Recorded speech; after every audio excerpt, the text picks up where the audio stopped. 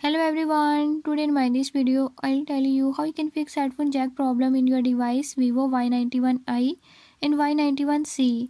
In this device Vivo Y91i and Y91c if you're having any issue like headphone jack is not working I'll tell you few tips and tricks that you can use to fix it. Before I start if you are new to my channel don't forget to subscribe and press bell icon. Watch complete video and learn how you can fix it.